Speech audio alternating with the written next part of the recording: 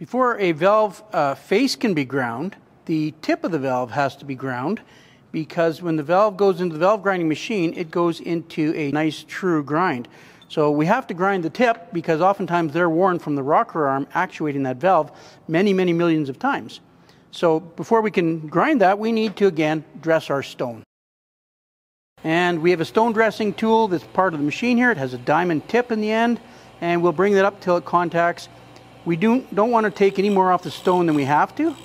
So there we, now that stone is true and clean with a good clean surface which will grind nicer on the valve. I'm going to set up my valve for grinding the tip. I'm going to back off my adjustment here to start with and insert my valve in this holder device. I'm going to bring it close to the stone so that I don't have a whole lot of anxious anticipation as I approach the stone and snug it in. The V that the valve stem is clamped in keeps it square to the stone. And once again, I'll turn on my grinder and I will turn on my coolant flow and, and we bring it up till we make contact. Audibly, you can hear it. Uh, there isn't much to be seen, but you'll hear it contact the stone. I'm keeping it moving so that I don't gouge the stone when I make contact.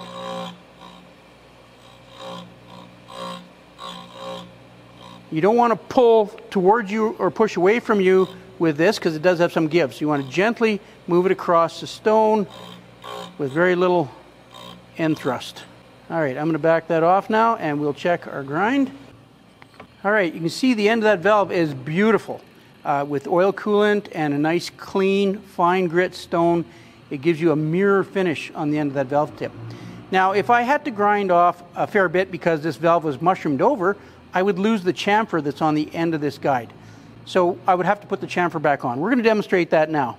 To do that, we're going to use another special tool that comes with the machine, and it is a, a V block that you put the valve in. It comes up against a stop. We set it up there, and we just rotate it by hand as we contact the stone. So I'll set that up in here right now. And again, I'm going to set it fairly close to the stone now. All right, so again, I'm going to bring that up very close to the stone. For how small a grind this is, you know what? Coolant isn't all that necessary. This is going to be a very quick chamfer on here. And again, I will bring that up till it contacts the stone and I hear it. Now I rotate the valve and I put a chamfer on that. And again, you can see that makes a very nice chamfer on the end. We don't want a sharp edge. We never want sharp edges on metals that are stressed because it is a break point for that metal. All right, before we can grind our valves, we've already placed our uh, valve guides on our valve seats. Now we can grind our valves. And to do that, one of the things we need to do first of all is make sure that they are straight. So if I put this valve in the chuck of this grinder, then at the back of the machine, I have to set up this guide mandrel. And it has a tapered cone hole which the end of the valve is going to center in so that the valve end doesn't wobble around. So that has to be centered in there. And I'm just going to roughly set it for now because I'm just checking the valve for run out or to see if it's bent. Snug that. Now I would pull the release lever on this chuck and tighten a little bit more than I did when I put the valve in there. Now when I pull the handle, I can release it, put it back in, and let it tighten up and it goes to the same position and tightness every time. Now to check it for run out, I would take a dial indicator. So we want to be perpendicular to the surface that we're checking. So we want to get it onto that valve face and there we have it somewhat perpendicular to the face. Now we'd rotate that by hand and see how much run out we have. All right, as we rotate the valve, we can see the dial indicator is not moving. This valve has been previously ground, unfortunately, but it shows no run out at all. Normally, you would have around three to four run out, three to four thousandths of an inch run out on that valve, and you will correct that by grinding the face and bringing it back to perfect. So here's, here's the 45 and 46. So we would turn that for a exhaust valve at 45 degrees, we'd turn right to there. And if a lot of the intake valves are only 30, so here is our 29 and 30 degrees, so we can do an asynchronous grind or an interference grind. And there we'd set that to 30 degrees. So the table is movable for the different valve face angles, and then you can lock it down and grind at that angle. valve face now and we put a little rubber protector on here that goes up against the chuck to keep grit from getting in our chuck. This is a precision tool and the grit is very harmful to everything so we try to keep it as uh, out of harm's way as possible. Now when I turn on the machine and I move the lever to bring the valve across uh, the valve will start to rotate and I can adjust the speed of that rotation. But first I want to make sure that I'm not going to hit anything that I don't want to hit. So down here on our left of the machine, there is an adjusting screw and it adjusts how far the table will move. So I would like to use the full width of the stone. That makes, so for less dressing of the stone. So if I bring it up close and I can see that I'm only about half width, so I'm going to adjust that so it goes a little further until I can get the whole width of the stone. It's not always possible to get the full width of the stone. On smaller valves, you can't do it.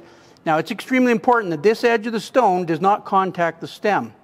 If that edge puts a notch in that valve head, that valve will fail in service and cause catastrophic engine failure. So if that happens, that valve is only good for a tent peg and nothing else. So now we're safe, we can't hit it, we're good to go. I'm going to turn on the machine and get my coolant flowing.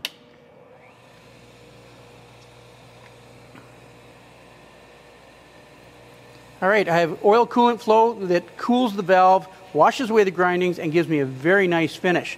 Now I'll turn on the grinder or the valve rotator head. It's not turning yet, but as I move it across the stone, it'll start to turn.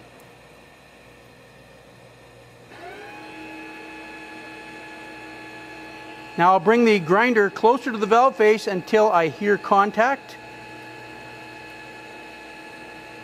It's an anxious moment as you're feeding up to the stone, but you don't want to go too fast. You don't want to hit the stone hard.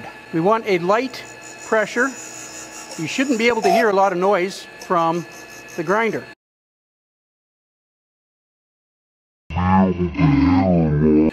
If you are, you're grinding too heavily.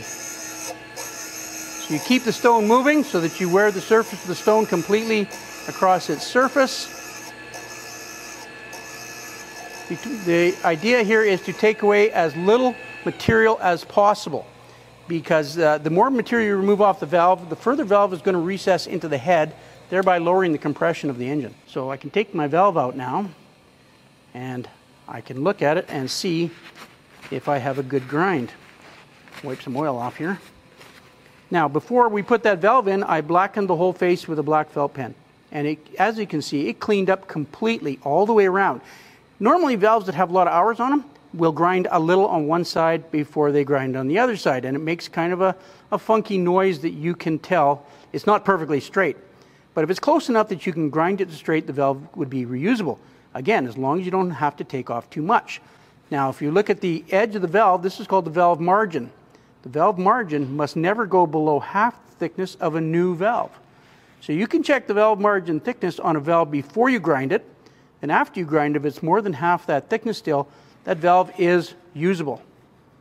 Again, it's important that we didn't touch the uh, filleted area of the valve because that would make a break point and that valve would fail in service, especially if it's an exhaust valve. Exhaust valves uh, are under a lot of strain and stress and can fail much easier than intake. All right, that valve's ready to go. That didn't take much. This valve is in good shape. A lot of times it will grind on the outside of the face, the inside of the face, but not in the middle where the seat was contacting. And you have to take the material down enough till it contacts across the entire face. But you can see how beautiful that grind is with the oil coolant and a fine stone that's well dressed. It does a very, very nice job.